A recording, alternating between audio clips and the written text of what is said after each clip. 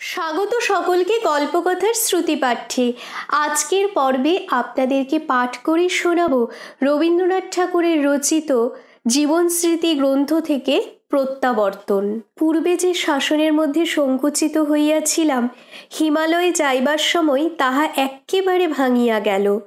যখন ফিরিলাম, তখন আমার অধিকার প্রশস্ত হইয়া গেছে।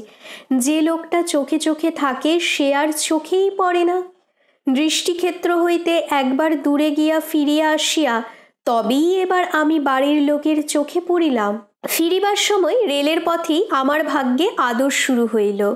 মাথায় এক জরির টুপি পরিয়া আমি একলা বালক ভ্রমণ করিতেছিলাম। সঙ্গে কেবল একজন ভৃত্য ছিল। স্বাস্থ্যের প্রাচুর্যে শরীর পরিপুষ্ট হইয়া উঠিয়াছিল। পথে যেখানে যত সাহেব মেম গাড়িতে উঠিত, আমাকে নাড়াচাড়া না করিয়া ছাড়িত না। বাড়িতে যখন আসিলাম, তখন কেবল যে প্রবাস হইতে ফিরিলাম তাহা নহে, এতকাল বাড়িতে থাকিয়াই যে নির্বাসনে ছিলাম, সেই নির্বাসন হইতে বাড়ির ভেতরে আসিয়া পৌঁছিলাম। অন্তঃপুরের বাধা ঘুচিয়া গেল চাকরদের ঘরে আর আমাকে কুলাইল না, মায়ের ঘরের সভায় খুব একটা বড় আসন দখল করিলাম। তখন আমাদের বাড়ির যিনি কনিষ্ঠ বধূ ছিলেন, তাহার কাছ হইতে প্রচুর স্নেহ ও আদর পাইলাম। ছোটবেলায় মেয়েদের স্নেহ যত্ন মানুষ না যাচিয়াই পাইয়া থাকে। আলো বাতাসে তাহার যেমন দরকার, এই মেয়েদের আদরও তাহার পক্ষে তেমনি আবশ্যক। কিন্তু আলো বাতাস পাইতেছি বলিয়া কেহ বিশেষভাবে অনুভব করে না। মেয়েদের যত্ন সম্বন্ধেও শিশুদের সেইরূপ কিছুই না ভাবাটাই স্বাভাবিক। বরঞ্চ শিশুরা এই প্রকার যত্নের জাল হইতে কাটিয়া বাহির হইয়া পড়িবার জন্যই ছটফট করে। কিন্তু যখনকার যেটি সহজ প্রাপ্য তখন সেটি না জুটিলে মানুষ কাঙাল হইয়া দাঁড়ায়। আমার সেই দশা ঘটিল। ছেলেবেলায় চাকরদের শাসনে বাহিরের ঘরে মানুষ হইতে হইতে হঠাৎ এক সময় মেয়েদের অপর্যাপ্ত স্নেহ পাইয়া সে জিনিসটাকে ভুলিয়া থাকিতে পারিতাম না। শিশু বয়সে অন্তঃপুর যখন আমাদের কাছে দূরে থাকিত তখন মনে মনে সেইখানেই আপনার কল্পলোক সৃজন করিয়াছিলাম। যে জায়গাটাকে ভাষায় বলিয়া থাকে অবরোধ, সেইখানেই সকল বন্ধনের অবসান দেখিতাম। মনে করিতাম ওখানে স্কুল নাই, মাস্টার নাই, জোর করিয়া কেউ কাহাকেও কিছুতে প্রবৃত করায় না। ওখানকার নিভৃত অবকাশ অত্যন্ত রহস্যময়।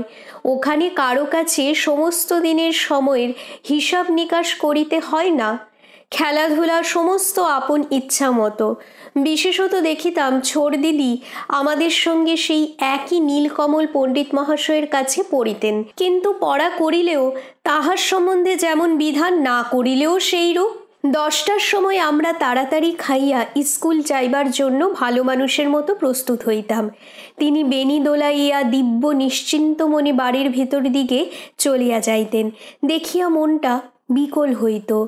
তাহার পরে গলায় সোনার হাটটি পরিয়া বাড়িতে যখন নববধূ আসিলেন, তখন অন্তঃপুরের রহস্য আরও ঘনীভূত হইয়া উঠিল। যিনি বাহির হইতে আসিয়াছেন, অথচ যিনি ঘরের, যাহাকে কিছুই জানি না, অথচ যিনি আপনার, তাহার সঙ্গে ভাব করিয়া লইতে ভারী ইচ্ছা করিত। কিন্তু কোনো সুযোগে কাছে গিয়া পৌঁছিতে পারিলে ছোট দিদি তাড়া দিয়া বলিতেন, এখানে তোমরা কি করতে এসেছ? যাও, বাইরে যাও। তখন একে নৈরাশ্য তাহাতে অপমান। দুই মনে বড় বাজিত, তারপরে আবার তাহাদের আলমারিতে শাসির পাল্লার মধ্য দিয়া সাজানো দেখিতে পাইতাম কাঁচের এবং চীনামাটির কত দুর্লভ সামগ্রী, তাহার কত রং এবং কত সজ্জা আমরা কোনোদিন তাহা স্পর্শ করিবার যোগ্য ছিলাম না, কখনো তাহা চাহিতেও সাহস করিতাম না। কিন্তু এই সকল দুষ্প্রাপ্য সুন্দর জিনিসগুলি অন্তঃপুরের দুর্লভতাকে আরও কেমন রঙিন করিয়া তুলিত? এমনি করিয়া তো দূরে প্রতিহত হইয়া চিরদিন কাটিয়াছে। বাহিরে প্রকৃতি যেমন আমার কাছ হইতে দূরে ছিল, ঘরের অন্তঃপুরও ঠিক তেমনই সেই জন্য যখন তাহার যেটুকু দেখিতাম, আমার চোখে যেন ছবির মতো পড়িত। রাত্রি নটার পর অঘোর মাস্টারের কাছে পড়া শেষ করিয়া বাড়ির ভেতরে শয়ন করিতে চলিয়াছি। খড়খড়ে দেওয়া লম্বা বারান্দাটাতে মিটমিটে লণ্ঠন জ্বলিতেছে। সেই বারান্দা পার হইয়া গোটা চার পাঁচ অন্ধকার সিঁড়ির ধাপ নামিয়া একটি উঠান ঘেরা অন্তঃপুরের বারান্দায় আসিয়া প্রবেশ করিয়াছি। বারান্দার পশ্চিম ভাগে পূর্ব আকাশ হইতে বাঁকা হইয়া জ্যোৎস্নার আলো আসিয়া পড়িয়াছে। বারান্দার অপর অংশগুলি অন্ধকার। সেই একটুখানি জ্যোৎস্নায় বাড়ির দাসীরা পাশাপাশি পা মেলিয়া বসিয়া উরুর উপর প্রদীপের সলিতা পাকাইতেছে এবং মৃদুস্বরে আপনাদের দেশের কথা বলা বলি করিতেছে। এমন কত ছবি মনের মধ্যে একেবারে আঁকা হইয়া রহিয়াছে। তারপরে রাত্রে আহার সারিয়া বাহিরের বারান্দায় জল দিয়া পা ধুইয়া একটা মস্ত বিছানায় আমরা তিনজনই শুইয়া পড়িতাম। শঙ্করী কিংবা প্যারি কিংবা তিনকড়ি আসিয়া শিয়রের কাছে বসিয়া তেপান্তর মাঠির উপর দিয়া রাজপুত্রের ভ্রমণের কথা বলিত। সে কাহিনী শেষ হইয়া গেলে শয্যাতল নীরব হইয়া যাইত। দেয়ালের দিকে মুখ ফিরাইয়া শুইয়া ক্ষীণালোকে দেখিতাম। দেয়ালের উপর হইতে মাঝে মাঝে চুনকাম খসিয়া গিয়া কালোয় সাদায় নানা প্রকারের রেখাপাত হইয়াছে। সেই রেখাগুলি হইতে আমি মনে মনে বহুবিধ অদ্ভুত ছবি উদ্ভাবন করিতে করিতে ঘুমাইয়া পড়িতাম। তারপরে অর্ধরাত্রে কোনো কোনো দিন আধো ঘুমে শুনিতে পাইতাম অতি বৃদ্ধ স্বরূপ সর্দার উচ্চস্বরে হাঁক দিতে দিতে এক বারান্দা হইতে আরেক বারান্দায় চলিয়া যাইতেছে। সেই অল্প পরিচিত কল্পনা জড়িত অন্তঃপুরে একদিন বহুদিনের প্রত্যাশিত আদর পাইলাম, যাহা প্রতিদিন পরিমিত রূপে পাইতে পাইতে সহজ হইয়া যাইত। তাহাই হঠাৎ একদিনে বাকি বকেয়া সমেত পাইয়া যে বেশ ভালো করিয়া তাহা বহন করিতে পারিয়াছিলাম, তাহা বলিতে পারি না। ক্ষুদ্র ভ্রমণকারী বাড়ি ফিরিয়া কিছুদিন ঘরে ঘরে কেবলই ভ্রমণের গল্প বলিয়া বেড়াইতে লাগিল। বারবার বলিতে বলিতে কল্পনার সংঘর্ষে ক্রমেই তাহা এত অত্যন্ত ঢিলা হইতে লাগিল যে মূল বৃত্তান্তের সঙ্গে তাহার খাপ খাওয়া অসম্ভব হইয়া উঠিল। হায়, সকল জিনিসের মতোই গল্পও পুরাতন হয়, ম্লান হইয়া যায়। যে গল্প বলে, তাহার গৌরবের পুঁজি ক্রমেই ক্ষীণ হইয়া আসিতে থাকে।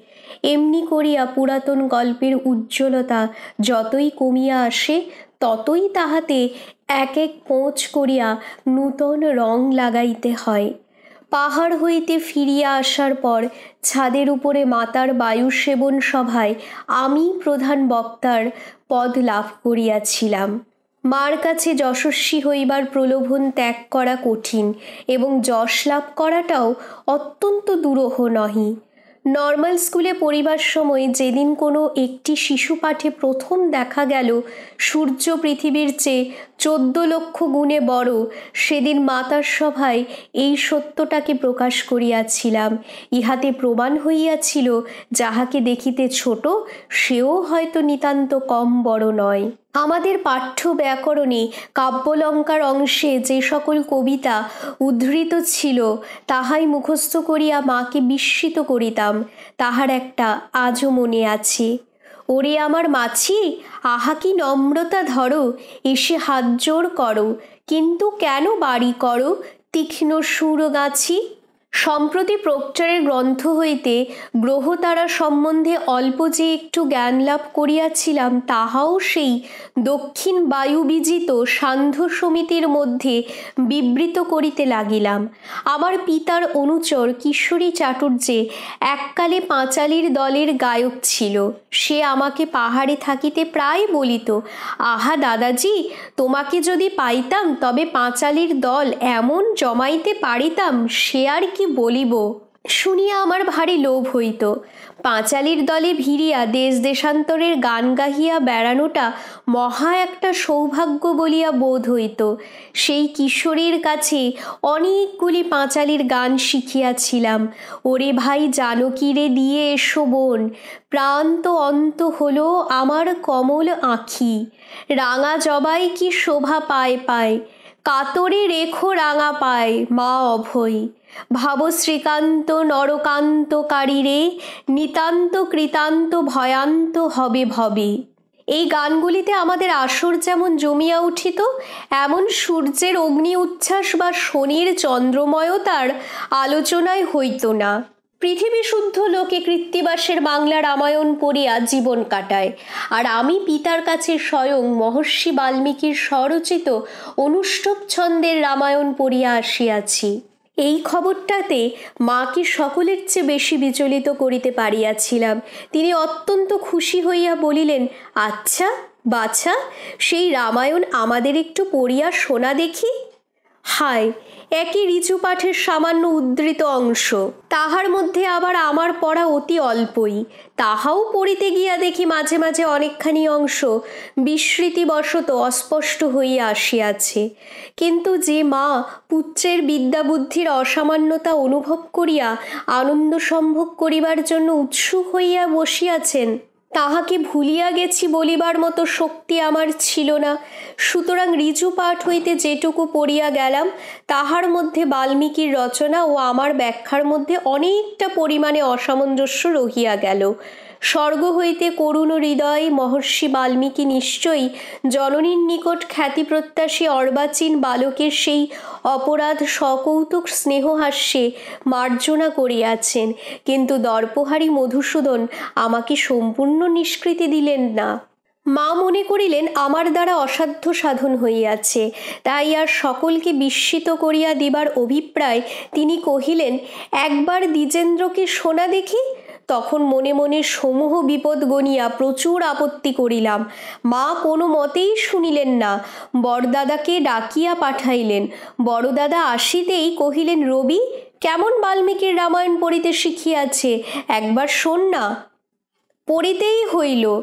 দয়ালু মধুসূদন তাহার দর্পহারিত্বের একটু আভাস মাত্র দিয়ে আমাকে এ যাত্রা ছাড়িয়া দিলেন। বড়দাদা বোধ হয় কোনো একটা রচনায় নিযুক্ত ছিলেন। বাংলা ব্যাখ্যা শুনিবার জন্য তিনি কোনো আগ্রহ প্রকাশ করিলেন না। গুটি কয়েক শ্লোক শুনিয়াই বেশ হইয়াছে বলিয়া তিনি চলিয়া গেলেন। ইহার পর স্কুলে যাওয়া আমার পক্ষে পূর্বের চেয়ে আরও অনেক কঠিন হইয়া উঠিল।